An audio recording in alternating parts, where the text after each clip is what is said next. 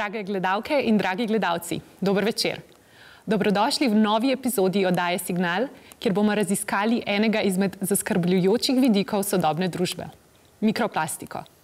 Ta drobna, a invazivna oblika onesnaževanja ne vpliva samo na naše okolje, temveč ima lahko tudi neposredne posledice za naše zdravje.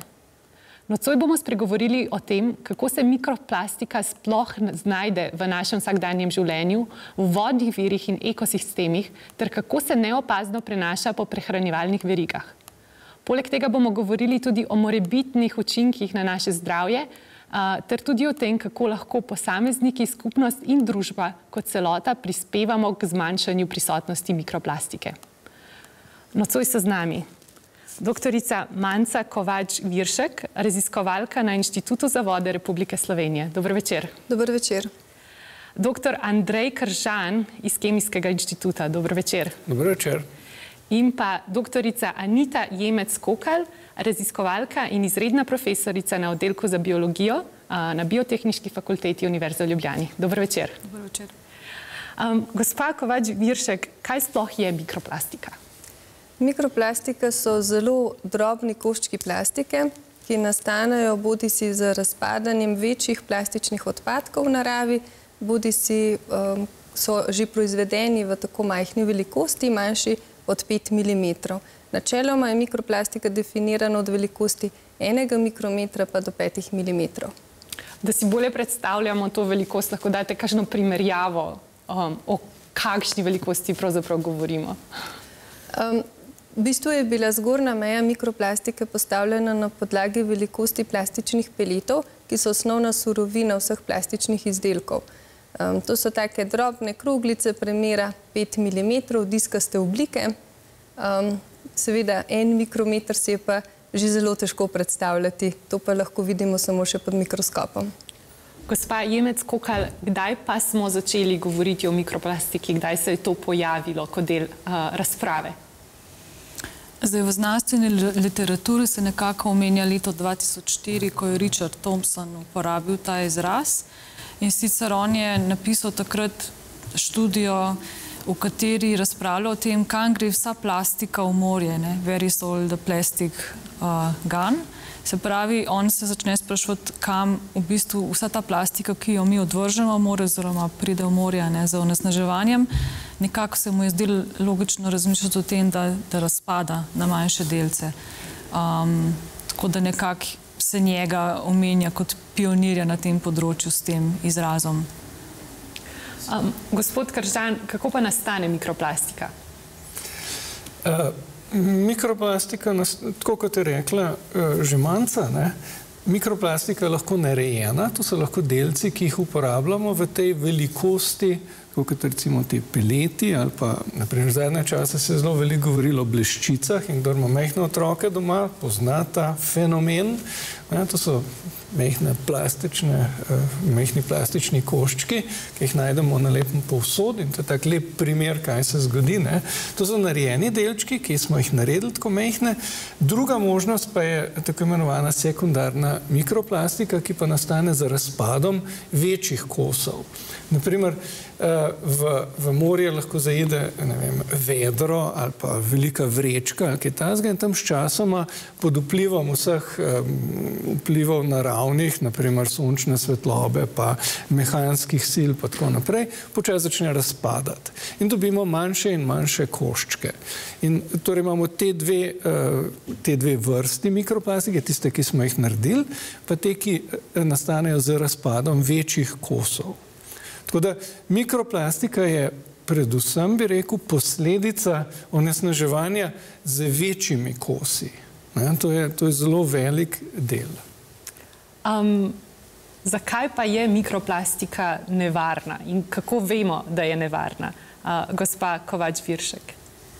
Um, v bistvu sta dva vidika, um, zakaj je nevarna. Eno je pravzaprav kemijski vidik, Um, namreč iz vseh plastičnih odpadkov, ne samo iz mikroplastike, ne, se sproščajo aditivi, ki so bili dodani plastiki med samo proizvodno. Um, in to so ponovadi razni, razna mehčala, zaviralci gorenja, um, potem plastifikatori in tako naprej. Um, in za marsikaterega od teh se je že ugotovilo, da ima kancerogene učinke, mutagene učinke. Po drugi strani, če izgledamo še vedno kemijski vidik, se pa na mikroplastiko v naravi veže obstojna organska onesnaževala. Tako da v bistvu nas se veže ta obstojna organska onesnaževala in se tam koncentrirajo in potem, če organizem zaužije ta košček mikroplastike, je pravzaprav ta košček še bolj strupen, kot bi bil sam, že sam po sebi. Um, če pa gledamo biološki vidik, je pa tukaj problem uh, rasti biofilmov na mikroplastiki. Namreč um, biofilmi so sestavljeni iz različnih vrst mikroorganizmov, pa tudi više razvitih pritrjenih organizmov, ki, uh, med katerimi so lahko tudi invazivne vrste, ki se potem širijo po morju, po vodah, ali pa so tudi to patogene vrste. In v Sloveniji smo v letu 2017 objavili pomemben znanstveni članek, ki opisuje, namreč odkrili smo patogeno vrsto bakterije, Aeromona salmonicida, ki je rasla na majhnem koščku mikroplastike um, in ta košček mikroplastike je bil izoliran iz slovenskega morja. Ta bakterija pa v bistvu povzroča množične pogine rib. Um, ampak, govorimo o mikroplastiki, ste omenili, da to nastaja tudi z razkrajanjem z, z razkrajanjem plastike. Um, če, če se pa jaz prav spomnim iz šole, je pa ravno problem tega, da se plastika ne razkraja. Ja, razpad, plastike, razpad plastike poteka na dveh nivojih. Ne. Eno je tako imenovana fragmentacija, ki se lahko predstavlja razpad na manjše delce. To je mehanski razpad.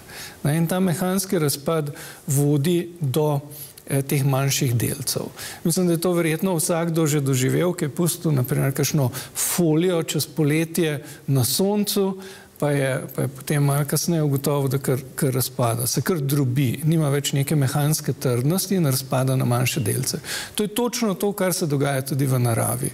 Potem imamo pa še drug nivo, eh, je pa na molekularni eh, osnovi oziroma na molekularnem nivoju. Tukaj Eh, tukaj mora pa razpaditi zelo, zelo daleč, da pravzaprav ta delec izgine. Ne? Da ne govorimo več o plastiki, ampak da govorimo o v nekih razgradnih uh, spojinah, da imamo temu tako reči, ne, da bi pravzaprav plastika izginila. Zato, ker to, kar vi sprašujete, je uh, v bistvu to protislovje, o čemer govorimo, ne, da ja, plastika razpada, ne, ampak v bistvu pravimo, da je trajna v okolju, pa da ne razpada dovolj hitro in bo ostala desetletja in ne vem koliko časa. Ne. To je to protislovje. Ne. Ampak razpada ravno dovolj hitro, da se drobi, ampak nikakor ne dovolj hitro, da bi izginila in se potem nekako presnovila že po naravnih poteh v neškodljive spojine. To, to je to protislovje. Um, kakšni pa so glavni viri onesnaževanja okolja z mikroplastiko, um, gospa Jemec Kokal? Ja, um... Glavni vir je, je človek, ne v vseh, vseh pogledih. Um, obstaja v bistvu ogromno različnih eh, virov, če bi šli mogoče po čist našem vsakdanjem življenju. Ne. Uh, en velik vir so gospodinstva, predvsem uh, pranje, ne. Uh, največ zelo ogromno enih tekstilnih vlaken so recimo našli v okoljskih vzorcih s tem, da Večina teh tekstilnih vlaken se zadrži v odpadnem blatu v čistilnih napravah. Majhen delež te plastike potem pride v odpadne vode oziroma v očiščene vode, ki grejo v, v reke. Problem je recimo v tem primeru predvsem v državah, kjer se to blato potem uporablja kot gnojilo in se ga potem uh, spet um, uporablja nazaj na polja, ne, kar v Sloveniji ni primer. Uh, no, potem en velik del je primer uh, promet. Um, predvsem je treba tukaj izpostaviti obrabo različnih pneumatik, pri katerih nastanejo majhni delci gum, ki so v resnici mikroplastika. Ne. Potem je velik del uh, tudi kmetijstvo. Um, predvsem uporaba um, različnih folij uh, v namenih, kjer teh plastike se ne da potem uh, odstraniti stalne. Naprimer, v, v praksa, veliko, v velikih primerjih je praksa ta, da se uh, recimo različne zastirke enostavno zakopljajo v zemljo, ne? se pravi, se jih ne pobere um, iz zemlje, ampak se enostavno zakopljajo in naslednje leto se potem še enkrat da novo, ne? pa raznih vrvic recimo. Ne? Um, veliko krat se pa plastika uporablja v kmetijstvu čist na način, da pač ne pride do tega sproščanja v veliki meri. Um, potem omenjali smo že uporabo, um, mogoče pri transportu bi še lahko omenila, no? um, tukaj gre predvsem za nesrečanje, ko se recimo te plastične palete transportira po svetu kot osnovno surovino. Um, to bi bil še tudi en možen uh, vir. So še kaj pozabila? Ne, mislim, da je zdaj zadnja študija, ki je dala Evropska unija ven, je, v bistvu malo spremenila te prve tri, ne, so dali na prvo mesto drobce barv. Ne, ker zelo veliko zadev je pobarvanih, polakiranih in to pravzaprav so polimeri. Ne, torej neke vrste skoraj kot plastika ne, in sodi med mikroplastiko. In vsi vemo, da barva začne korodirati, se lušči in tako naprej. Eh, včasih jo namenoma odstranjujemo, tudi včasih se pa to samo dogaja. Eh, tako so postavili pravzaprav drobce barve na prvo mesto, potem na drugo mesto so dali drobce gume od pneumatik in potem še naprej vse te druge vere. Kar je pravzaprav zanimivo, da so zdaj prvič postavili na prvo mesto drobce barv.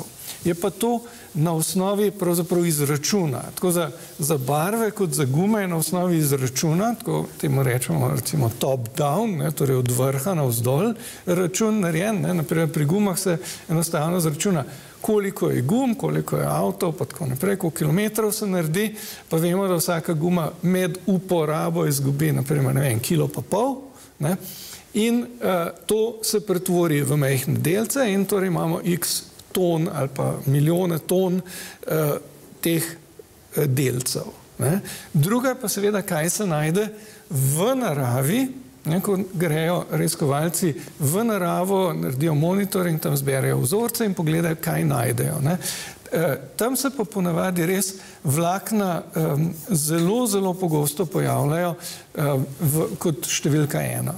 Ampak to je zato tudi, ker, ker prvo jih je veliko, so zelo mobilna, uh, uh, in, in uh, se, se ne usedajo, ker imajo pač eno tako obliko, da, da kar naprej lebdijo in grejo. Tako da, naprimer, na Antarktiki, ne, ko so po celi Antarktiki, ne, Ar, Arktiki so oproščal, ja. so naredili analizo, ne, pa mislim, da je bilo več kot 90% vse mikroplastike, ki so jo našli, so bila vlakna. Ne. Medtem ko recimo delci uh, gume ne, se zelo hitro posedajo, pa tudi druge jih najdemo ne, ob cestah. Naprimer, torej, ko vzamemo vzorec, da ga testiramo, se da ugotoviti, iz kje je prišla mikroplastika, ali je iz gume, ali iz barve, ali iz tekstila. Ne, mi ugotovimo, ali gre za gumo, recimo, ne, ali gre za materijale, pa tudi za obliko, ne, ki bi bila specifična, recimo za oluščeno barvo, vlakno, seveda tudi prepoznamo. Uh, eno je, da gledamo obliko. Ne, Eh, drugo je pa, da potem pogledamo, iz kakšnega materijala je to narejeno. Če imaš recimo vlakno, ki zgleda kot vlakno, pa iz poliestra, pa veš, odkud je prišlo. Ne? Ampak zelo zanimivo je, da sta oba, ko sta govorila, iz kateri so glavni viri onesnaževanja, pravzaprav omenila stvari, ki jih ne bi na prvo žogo povezovali s plastiko. Um, tekstil, promet, no, kmetijstvo, potem okoščki barve. Uh, o tem ja. ne razmišljamo kot o plastiki. Lejte, sej, sej, tako kot je Anita rekla, ne, ta, ta sam termin ne, se je prvič pojavil leta 2004. Sicer so že prej opažali, tam mislim, da leta 72 ali 71 so najprej opisali, da so našli delce plastike, pa so v bistvu zelo dobro opisali, sem takrat temu ni nihče pozornosti posvečal. Ne. Ampak to je relativno um, novo spoznanje, ki ga imamo, da je mikroplastika, pa da so mehni plastični delci sploh problem. O tem, veste, 20 let nazaj skoraj ben ni razmišljal. Ne? In ko se je začel to gledati, ne, smo, smo odkrivali nove in nove vere. Vi ste sprašvali, odkot to pride.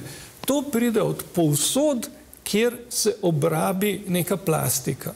To je lahko, ne vem, eh, podplat vašega čevla. Imate športne čevlje, superge, pa veste, da jih po nekem času, če pridno tečete, ne, vidite, da so obrabljeni. Ne. Tam je nastala mikroplastika. Ne. Potem v kuhinji imate rezalno desko, ne, po kateri režete, pa veste, da je že malo tako malo obrabljena. Ne. To je bila mikroplastika, ki je šla preč. Ne. Potem recimo v notranjosti vašega pomivalnega stroja, ne, veste, da, da je tisti delčki not, eh, so malo neki, neki hecen zgledajo, ne, pa malih manjka včasih, pa kakšen se polom. Ravno tako tam nastajajo ti delci. Ali pa, mislim, še bolj tako bizaren eh, primer, ne, vileda, veste, s katero čistite posodo ne, vsak dan, ne, tam grejo tudi delci ven. Se veste, da je na koncu utrujena, ne, da je nekaj tako neuporabna, počas pa jo preč vržete. Ne.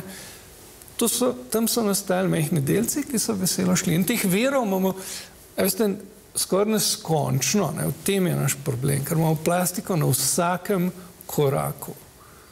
Torej je praktično res povsod, dobesedno povsod. A, kako pa jo zaznamo, um, gospa um, Kovač Viršek?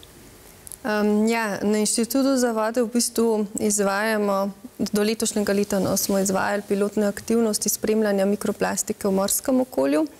Um, naredili smo pa tudi kar nekaj študij na celinskih vodah, pa odpadnih vodah in tudi podzemnih vodah. Um, gre za to, da se pravi, glede na to, kaj vzorčimo, je to sediment ali je voda, ali gre za morsko vodo, ali gre to za eh, podzemne vode, imamo različne načine vzorčanja, zbiranja vzorcev. Kadar vzorčimo vodo, nam je v interesu, da v bistvu čim večje količine vode prefiltriramo že na terenu samem, zato smo tudi razvili posebne sisteme, vzorčevalnike, enega izmed teh imamo tudi trenutno v postopku patentiranja. Um, in ko mi skoncentriramo vzorec vode um, na terenu, se pravi, ga dobimo na neko membrano, na nek filter, se to odnesemo v laboratorij in v laboratoriju potem z mikroskopijo in pa potem tudi z Fourier infrardečo uh, spektrometrijo določimo um, kemijsko sestavo delcev. Se pravi, najprej mikros, pod mikroskopom pregledamo vzorec, um, da vidimo že vizualno, pogosto se da že vizualno videti, a je ali ni prisotna mikroplastika, potem pa seveda v nadaljem koraku pa tudi določamo vsem tem delcem kemijsko sestavo in ostale lastnosti, ki so nekako zahtevane, bom rekla, trenutno zahtevane sa strani spremljanja mikroplastike v okviru morske direktive. In ali v Sloveniji imamo prisotnost mikroplastike v naših vodah? A, ja, seveda.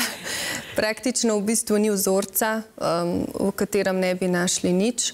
Uh, tako da ja, ja torej tako na vsem morju, v potokih, v rekah, ja. jezerih. Ja. Ja, žalostna zadeva je, da mikroplastiko najdemo povsod, kjer dovolj natančno pogledamo. Uh mhm. -huh. to, je, to je ta žalost.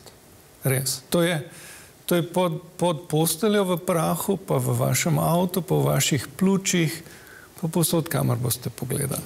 Žal. Gospa Jemec, kako pa ta mikroplastika vpliva na um, ekosistem, um, na živali, na nas? Slišali smo, da je praktično res posod.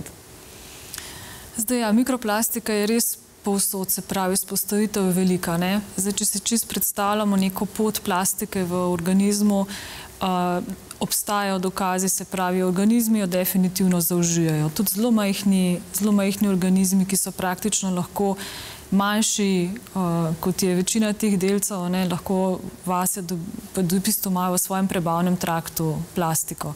Ta plastika v največjih primerih potem tudi gre ven iz organizma, se pravi, se izloči. Ne. Seveda, je težko v bistvu razmišljati o tem, da pri tem ne, nima nobenega vpliva na sam organizem v prebavnem traktu. Ne. Tam to so obstajajo dokazi, da pač spremenijo ne, prebavno, se pravi, mikroorganizme, ki so v traktu, lahko veže recimo na sebe nutriente. Organizmi veliko krat potem enostavno imajo občutek, da so siti, to je sicer odvisno, ne, s katerim tipu organizma govorimo, se pravi, jim nadomesti neko hrano. Ne. Uh, se pravi, definitivno mikroplastika v ekosistemu je v velikih uh, organizmih. Potem pa, ko govorimo o samih učinkih, ne na začetku, ko smo mi pričeli na oddelku za biologijo s testiranjem, to je zdaj že skoraj osem let nazaj, smo tako z nekim velikim strahom ali pričakovanjem, a ne pričakovali, da bomo zdaj dobili zelo velike toksične vplive na naše sisteme. Mi se ukvarjamo predvsem s proučevanjem različnih vrst um, vodnih in kopenskih uh, neurotenčerov, bolj konkretno rakov. So taki majhni organizmi, ki se standardno uporabljajo v testiranju in na naše presenečenje se pač tem organizmom veliko krat ni nič zgodilo po kratkotrajni izpostavitvi. Se pravi, da smo, da oni zaužijajo to plastiko, ampak oni zaradi tega ne umrejo. Ne? Uh, ampak večina študij, ki pa se sedaj izvaja, gre pa predvsem v to smer, da se testira dolgoročne učinke, ker namreč plastika je zelo obstojna. To je drugače kot pri kakšnih organskih onesnažilih, ki razpadajo tudi v zemlji ali pa v vodi. Ne? Plastika je dejansko tam, se pravi, nek organizem lahko zelo dolgo časa temu izpostavljen. In tukaj pa vidimo v bistvu vplive ne? Um, na recimo rast. Ampak to govorimo zdaj potem mogoče vpliv na drugo ali tretjo generacijo. Ne? Se pravi, mi testiramo organizme in njihove potomce in še potem potem potomce tega. Um, tako da moj kratek odgovor bi bil, da mikroplastika dejansko ima neko interakcijo z organizmi in ti organizmi tudi se odzovejo na njo z različnimi spremembami na, na celičnem nivoju. Ne? ne moramo pa reči, da je zelo toksična. Definitivno pa ni fino za te organizme, da je v tem okolju. Ne? Mogoče še to. No, eh, veliko raziskav, predvsem zdaj, govori o tem, eh, da je pač mikro, treba mikroplastiko dojemati kot neke vrste drugačno onesnažilo, zato ker spreminja v bistvu lastnosti okolja. Torej, v zemlji konkretno, kar mi proučujemo, vpliva na, prav na fizikalno-kemijske lastnosti zemlje. Si predstavljate si, da imate neko uh, posodo zemljo in dodate plastiko in to zmešate. Že vizualno se vam zdi, če je plastika notrne, um, se spremenijo v bistvu velikosti por, spremeni se gostota, pač neka lastnostna zemlja, zadrževanje. Mi smo recimo ugotovili, da ta zemlja, ki ima več plastike, um, slabše zadržuje vodo. Spremeni se tudi peha zemlje, naprimer, lahko zaradi prisotnosti. In to potem vse posredno vpliva na mikroorganizme, ki so v zemlji in potem posredno na vse večje organizme oziroma na rastline. Tako da lahko govorimo o mikroplastiki kot, kot neki, spre, neke spremenjevalki okolja, ne, v katerem je. Um, je pa definitivno tukaj še zelo, zelo veliko odprtih vprašanj, ki jih naslavljamo in jih bomo naslavljali še kar nekaj časa. Ampak to je težko ugotoviti, kakšni so vplivi. Ja. To je res težko ugotoviti, zato ker mi smo, naprej, mi pa tudi okolje, pa organizmi, ne, smo vsi izpostavljeni mikroplastiki skozi dolga obdobja z nizkimi koncentracijami. Torej, stalno z mehkimi koncentracijami. In je potem težko ugotoviti, kaj je pravzaprav posledica te mikroplastike. To je samo še pač en del naše izpostavljenosti, ker smo izpostavljeni marsičemu. Ampak ta plastika je samo še en dodatek k temu koktejlu, ki ga imamo in v katerem živimo. Ampak desetletja. Ne? Tako da verjetno ne, nas sama plastika ne bo ubila. Je pa en dodatek k temu, čemu smo izpostavljeni, nekim umetnim snovem, kemikalijam, prenosu kemikalij, kot je manjca omenila, pa tako naprej. Ne? Torej, če vas prav razumem, a, mikroplastike, preden smo razvili plastiko, ni bilo v okolju. Se je ni v... mogel biti, ker ni no, bilo plastike. to sem to. No, če pa lahko rečem, bili so pa delci, ne, katerim smo mi nenehno izpostavljeni, ne, že ko smo začeli uporabljati ogenj. Uh, zato moramo razmišljati tudi z tega stališča. Človek ima, človek in vsi organizmi, v bistvu mi imamo mehanizme, s katerimi se nekako zaščitimo oziroma znamo upravljati z izpostavljenostjo različnim delcem. Ne. Pri plastiki je problem predvsem v tem, da je tako kot je že manjca omenila, prenašalka drugih stvari, naprimer različnih kemikalij, ki se vežejo na njo, ali pa teh kemikalij, ki so v njej. Tako da e, ena velika smer raziskovanja je zdaj predvsem v tudi z namenom mogoče um, razvoja um, takih plastik na drugem nivoju, ki imajo recimo kemikalije, ki se ne sproščajo toliko oziroma nimajo takih vplivov, ne, je predvsem to, ne, katere, ali je plastika sama posebno nevarna kot delac ali pa kot nek nosilec neke kemikalije, ki se sprošča iz nje. Ne. Tako da to je, to je tisto, no, kar mogoče nas bo še bolj skrbetno.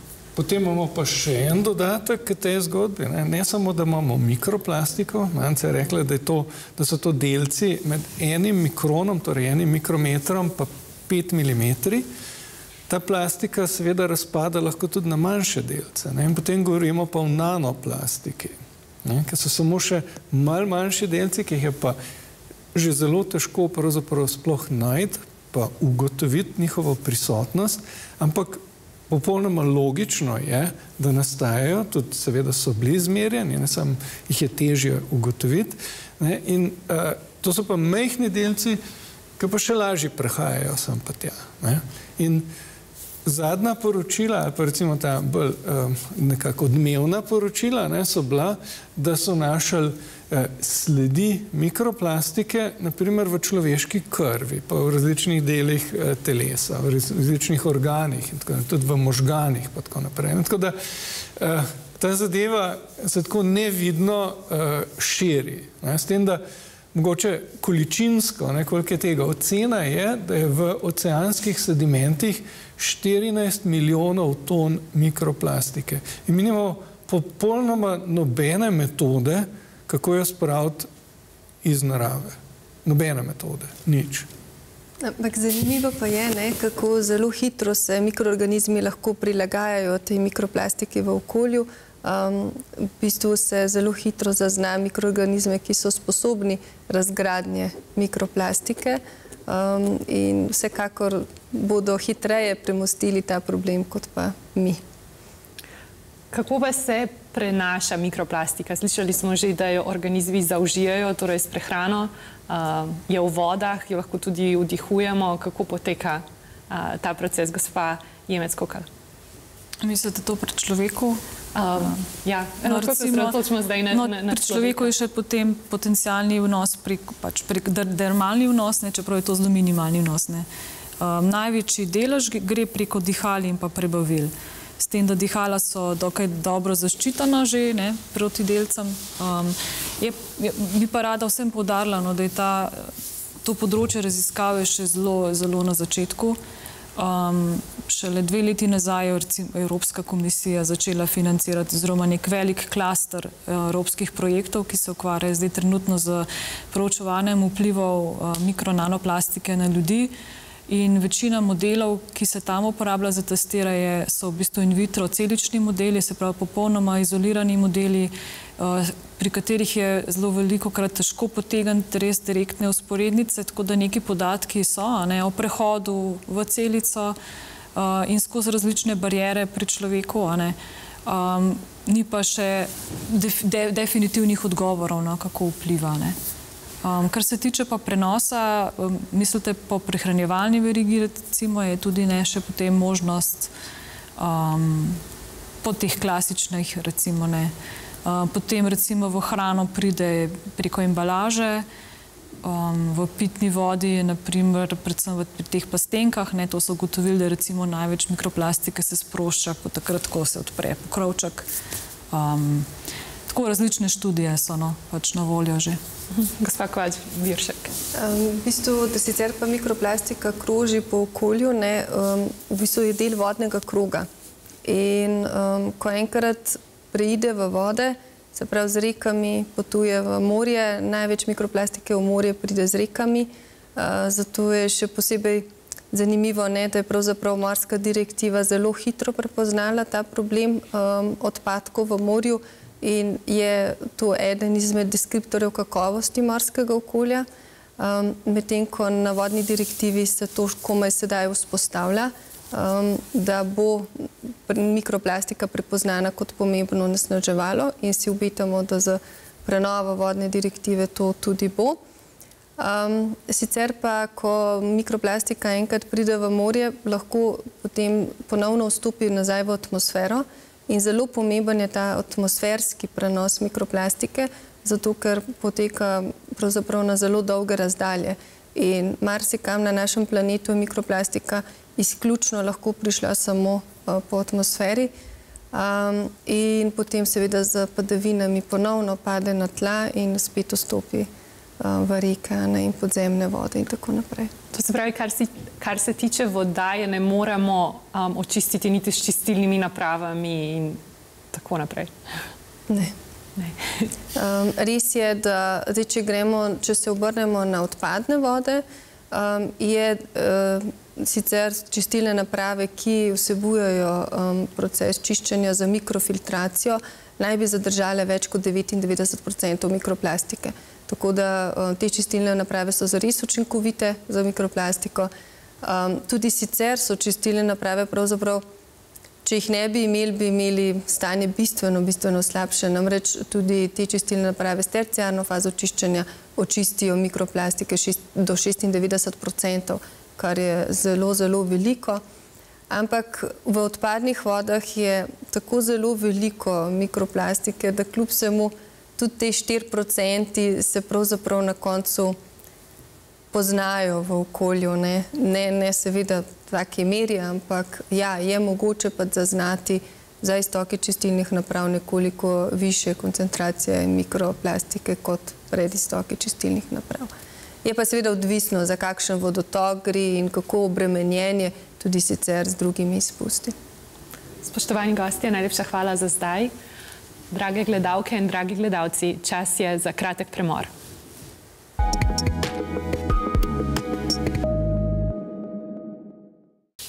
Drage gledalke in dragi gledalci, dobrodošli nazaj v oddaji Signal, kjer smo sredi razprave o mikroplastiki. Um, gospod Kržan, kako pa je z bioplastiko? Uh, vidimo veliko, uh, veliko produktov v trgovinah, ki trdijo, da se popolnoma razgradi, razgradijo, da so okolju prijazne. Ja, nove vrste plastike se pogosto omenja kot neko, neko vsaj delno rešitev tega problema, o katerem govorimo. Zdaj, vi ste uporabili izraz bioplastika. Bioplastika eh, vključuje tako bioosnovano plastiko, torej plastiko narejeno iz obnovljivih verov, ki ni nujno razgradljiva, ne? in biorazgradljivo plastiko, ki pa je lahko narejena tudi iz fosilnih verov, ampak je biološko razgradljiva. To, da je um, nek material biološko razgradljiv, pomeni, da ga lahko organizmi, običajno so to mikroorganizmi, enostavno zaužijajo in presnovijo. Tako kot mi pojemo hrano, pa jo presnovimo izdihamo CO2.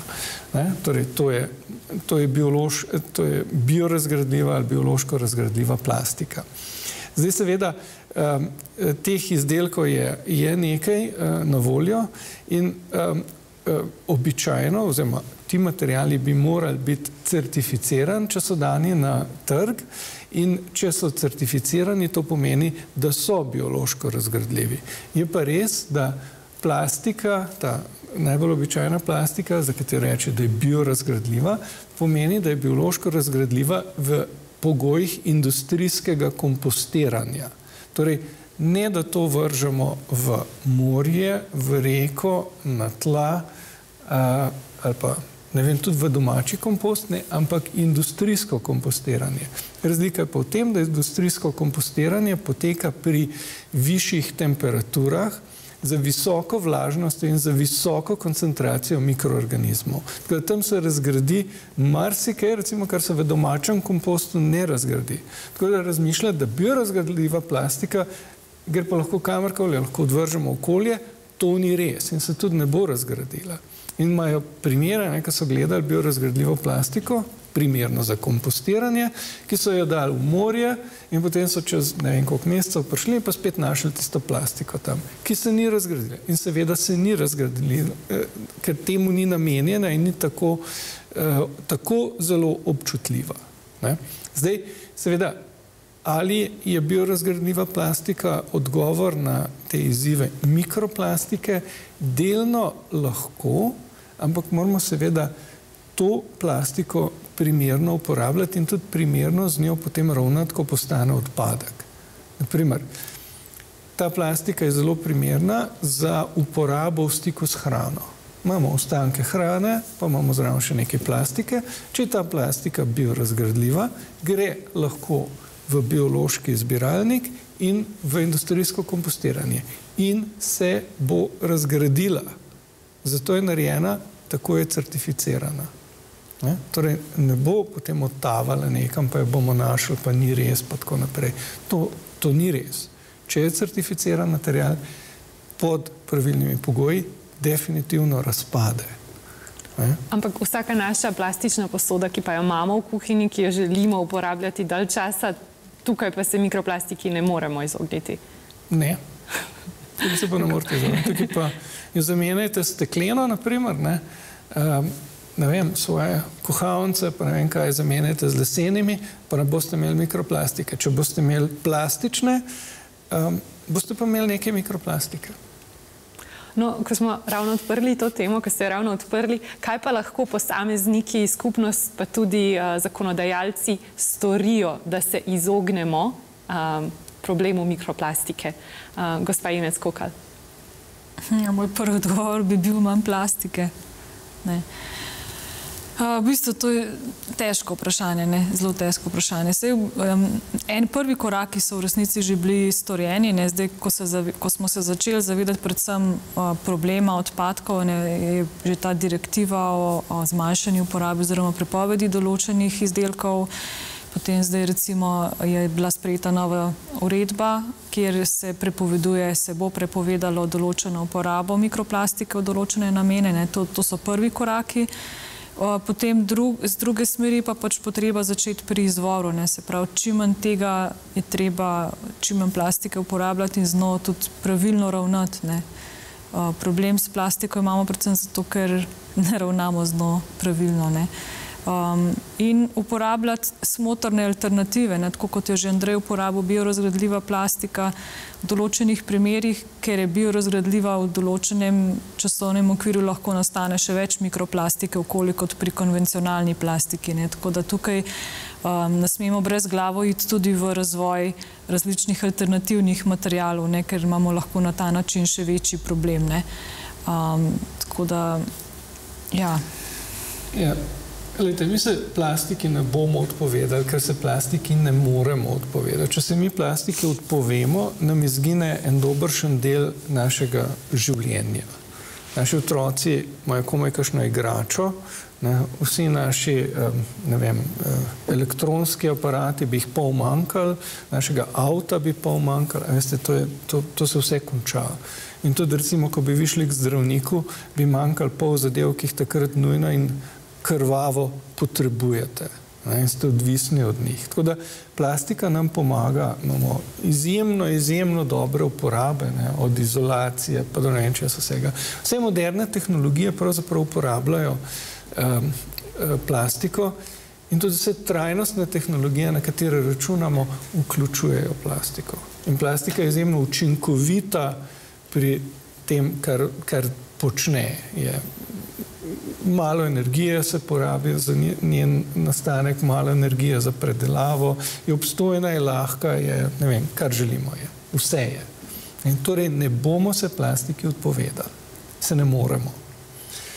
Druga zadeva pa je, da mi uporabljamo preveč plastike. Mi smo s plastiko izjemno potratni, ker je plastika tako poceni in mi si to lahko privoščimo, ker smo dokaj bogata družba, vsaj trenutno.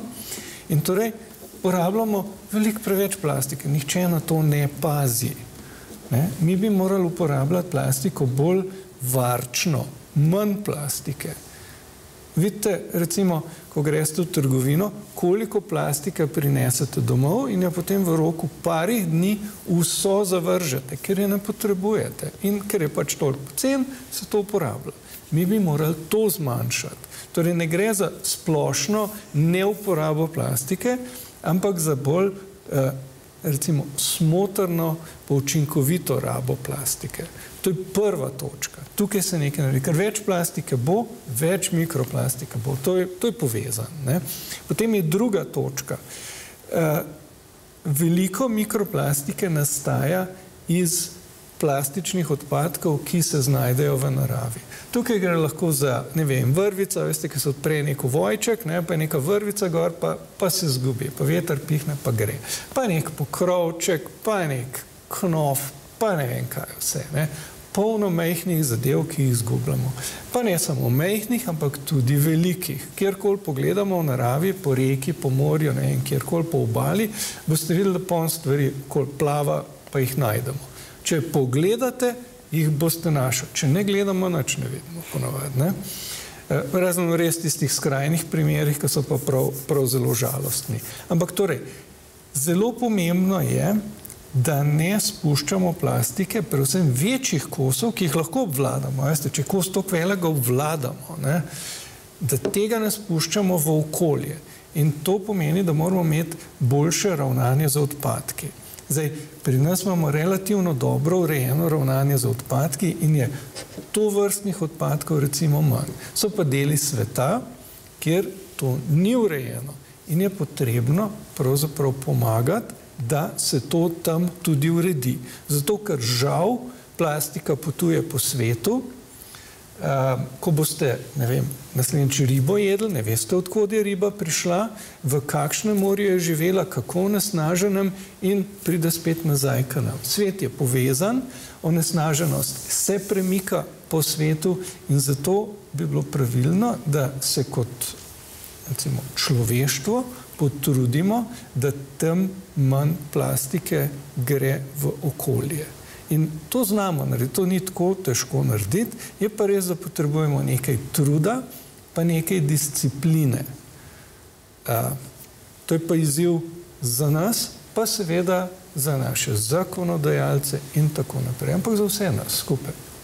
Ja, to je res. Jaz vem, ko sem živela v Bruslju, je bila tam vsa biozelenjava, organska zelenjava, zavita vsaka posebej v plastiko, vsaka kumara posebej. Zdaj, tista, ki ni bila organska kumara, a, se je lahko prodajala, tako kot je, ampak vse biozelenjava je bila pa vsaka zavita posebej.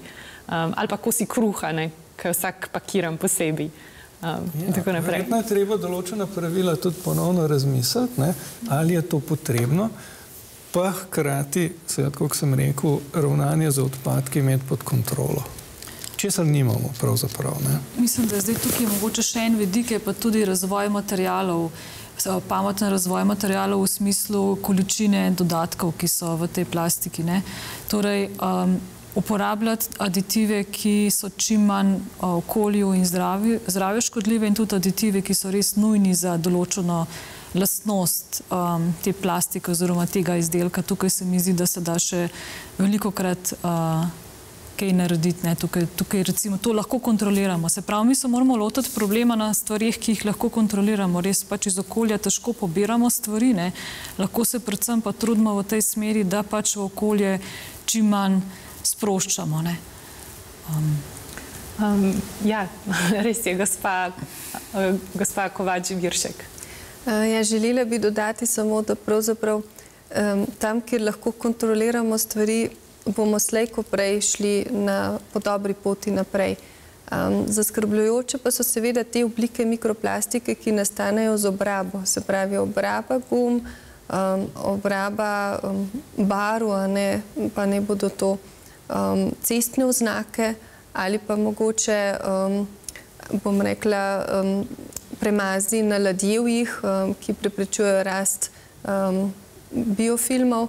Skratka, tukaj bomo pa zelo težko um, ukrepali, um, ker ta mikroplastika pa dejansko gre direktno v okolje in um, je zelo težko potem to prestrešiti. Pa obstaja kakšna zakono, zakonodaja glede mikroplastike? Zdaj, da bi rekli, prepovemo mikroplastiko, to je nemogoče tudi, kot smo slišali, za zaznavanje potrebujemo laboratorije. Um, kaj sploh lahko naredimo, uh, oziroma naši zakonodajalci lahko naredijo, da zaščitimo okolje pred mikroplastiko? Gospod Kržan. Ja, trenutno nimamo veliko ukrepov proti mikroplastiki neposredno. Eh, ker, kot je bilo rečeno na začetku, da v bistvu ta termin poznamo recimo dobrih 20 let ali pa slabih 20 let. Um, in ta problem um, smo v tem času raziskovali, spoznavali in zdaj vsaj nekaj vemo o njem. Uh, tako da, veste, zakonodajalec uh, sledi razvoju Eh, in, in nekako reagira na, na znanstvene ugotovitve, na uh, nekakšno resnost težave in tudi na javno mnenje. Uh, trenutno se veliko dela na tem, da bi se poiskalo rešitve, ki bi ne omejevale recimo um, trga, ki bi ne omejevale um, te teh uh, koristi, ki jih imamo od plastike. Ne? To se išče, da imaš recimo neko nadomestilo, da imaš neko alternativo, da nečesa ne izgubiš, če, kar imamo in kar mogoče potrebujemo. Ne? Tako da pravzaprav je bila letos septembra prva, prva zakonodaja v Evropski uniji sprejeta proti tem namerno dodanim mikroplastičnim delcem. In tukaj to se je rekel pač proti bleščicam, ne, ampak ni samo proti bleščicam, ampak proti vsem namerno dodanim majhnim plastičnim delcem, recimo v kozmetiki in tako naprej. Jaz mislim, da apsolutno ne potrebujemo majhnih plastičnih delcev v zobni pasti. Naprimer. To je popolnoma nepotrebno, hvala Bogu, da so to prepovedali. To bi morali že zdavnaj narediti, ker to mislim, enostavno logika in kmečka pamet je proti taki uporabi, ki je čez brezvezna in nepotrebna ne, in se jo da tudi nadomestiti. Imamo pa naprimer tudi v istem sklopu ne, um, te uh, športne um, površine, ki so narejene iz plastike, tam se sprošča ogromno plastike. Ne. Uh, če greste kakšen tak teren pogledat, ne, jaz enega slučajno poznam, vem, da je tam plastike cele kupe, ker pač je tam. Um, to bo to bo relativno težje nadomestiti recimo, in tudi odstraniti. Ampak to je tudi ena taka zadeva, kot ste rekli, ne, um, s katero živimo dnevno, jo vsakodnevno skoraj videvamo, pa hkrati nas nekako ne zadane, o to je pa mikroplastika, to je pa, to je pa vir mikroplastike. Ne, to Ben ni pravzaprav razmišljal. Ne. Uh, pa je racionalno, posebej morda za države, ki so manj razvite, kot smo v Evropski uniji, da se ukvarjajo, oziroma če je realno pričakovati, da se bodo ukvarjali z mikroplastiko, ob tem, da imamo pa tudi kup problemov z makroplastiko, z smetmi v oceanih. Vidimo lahko slike iz Pacifika, kjer so cele gore teh smeti. Gospa Kovač Viršek. Ja, vsekakor v, bom rekla, v manj razvitem svetu bom, je sigurno prvi korak ta, da se začne, tako kot je že Andrej rekel, da se pravzaprav pomaga tem državam, da vzpostavijo pravilne sisteme ravnanja z odpadki. Um, ampak sama menim pa, da imamo tudi v Evropi pravzaprav nekaj problemov, um, a ne še tudi s plastičnimi odpadki. Uh, vemo, da kar velike količine odpadkov so vse nekoč um, odvažale na Kitajsko, um, sedaj se v Indonezijo in tako naprej, točnih številk nimam, ampak vsekakor um, Evropa sama ne zagotovi um, odvoza in ravnanja s plastičnimi odpadki do konca. Ne. Um, nekje ostane, to je potem cela veriga tukaj zadaj. Um, in v bistvu pravzaprav s tem mogoče tudi ne pomagamo ravno državam v manj razvitem svetu v tem, z, tem, z tega vidika. No, mi imamo neko odgovornost, seveda, da poskrbimo za svoje lastne odpadke in mi tega pravzaprav, če smo odkriti, ne storimo. Mi marsikaj tega izvozimo po svetu in na lepem potem to ni naš problem. Težava ravno pri plastiki in pri mikroplastiki pa je, da je to kot neke vrste bumerang, ki se nam potem vrača, potem pa ugotavljamo, ojoj, zdaj imamo pa mikroplastiko, ki, ki pluje po svetovnih morjih. Ne? To je tudi problem, k kateremu smo mi nekaj um, pripomogli in imamo tukaj neko odgovornost. Zdaj, da se bo, bodo države v razvoju ali pa manj razvite države ukvarjale z mikroplastiko, seveda ni za pričakovati.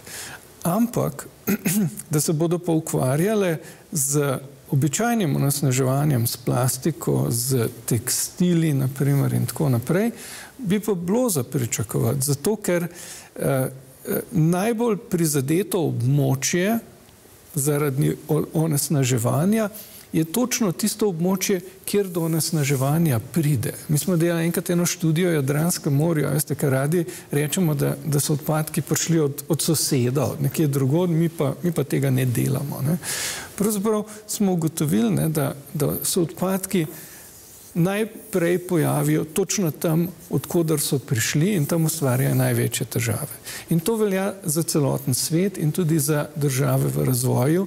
In ko gledamo te nekatere slike, ki so resnično žalostne, koliko odpadkov nepravilno odloženih, pa sploh neodloženih, bi rekel, ne, se pojavlja naprimer v kakšnih uh, vodotokih, kanalih, uh, vse mogoče, tudi na obalah morja, lepih otokov in tako naprej. Veste, to najbolj prizadane lokalno prebivalstvo. Tako da jaz mislim, da oni bi bili zainteresirani, oni ne uživajo v tem, da imajo nasnaženo okolje, še posebej, če so od tega okolja ključno odvisni. Ne? Tako da mislim, da to ni tako nemogoče, ne? ampak seveda imajo druge probleme in to ni edini problem, pa, pa mal, mal človek zgubi upanje, ne? če ta stvar kar prihaja in prihaja in prihaja. Del tega prihajanja smo pa mi. Ne? Tako da mogoče, smo malo tukaj še tako, eh, kaj sem, da sebe pogledamo. Ne? Um, gospa Jemec, koliko pa obstaja kakšna namenska uporaba mikroplastike oziroma se jo kje potrebuje ali je to le nekako nezaželjen stranski produkt razgradnje plastike? Ja, pač vsa ta primarna mikroplastika je narejena z nekim namenom. Ne? Uh, torej, kot je bilo že prej omenjeno v kozmetiki, v pilingih za obraz, recimo to je bilo čisto funkcijsko, ne zato, da se pač lažje um, čisti, ne, potem v zobnih pastah, v ličilih, um, potem v medicini morda polistirenski delci kot, um, ja, to, to bi bila recimo no, lahko neka primarna, ne. Um, no, tisto uporabna mikroplastika je, ja. so peleti. Ne? Ja, peleti so pa pač kot transport. Kot je Manca rekla, ne? To so, to so taka mehna zrnca plastike, tako približno kot grahova zrnca, ki se jih uporablja potem za proizvodnjo izdelkov iz plastike. To je, to je običajna oblika, ki se usuje v, v stroj za proizvodnjo izdelka iz plastike. Ne? In to potuje v big bagih ali pa v različnih oblikah po celem svetu, ne? v tej obliki. In Seveda so to uporabni delci, so v tej obliki, zato ker se jih potem da uporabiti. In tisto, kar bi morali mi zagotoviti, je to, da jih ne spuščamo v okolje, da nimamo teh, teh um, kaj se jim, izlivov, razsuti in tako naprej, ne, da se to zgublja. Ker to se, to se najde običajno v vseh pristaniščih, v vseh pretovornih postajah in tako naprej. Ne namenoma, ne, ampak tudi mogoče ne pazimo najbolj. Ne. Um, ko smo prej govorili o tem, da je mikroplastika povsod in tudi v naši vodi ali pa v plastenkah z vodo, um, je možno to sfiltrirati z uporabo raznih filtrov, ki jih imamo, ko jih um, um, damo na naše uh, pipe, na naše vodovodne sisteme ali pa samo, da kupimo v trgovini navadni filter. Um, ali to pomaga s tem, da ne zaužijemo, ne spijemo mikroplastiko? Uh, gospa Kovač Viršek. Pomaga do neke velikosti, ne? odvisno sprav, kakšen je ta filter in do katere velikosti delce lahko prestreže. To je dobro vedeti. Mislim, če se plastiki ne boste izognili, ne, ker imate tudi zelo mehne delce, kot sem rekel, ne, pod mikronom, torej v nano območju, ne, tem se ne boste izognili. Ne. Uh, je pa, ker imamo čisto nobena metoda za to ujet, take praktične. Ne. Ampak, da pa lahko nekaj zaustavimo, pa lahko. Mislim, če bi iz plastenke sfiltrirali vodo ali pa karkoli pijete, ne, seveda, da bi odstranili tiste mikronske delce ali pa ne vem, od 10 mikronov do x milimetrov bi seveda odstranili ne, in pač ne bi tega spili. Mogoče, mogoče ena stvar, ne, kaj tudi lahko naredimo, ne, so, um, torej, jaz se sam ukvarjam tudi z filtracijo vlaken iz uh, otočne vode od pranja, ne, torej voda, ki gre iz pralnega stroja, vsebuje vlakna in ker je več kot polovica naše obleke trenutno plastična že, ne, je teh plastičnih vlaken kar dosti. To se da zaustaviti z filtrom na stroju.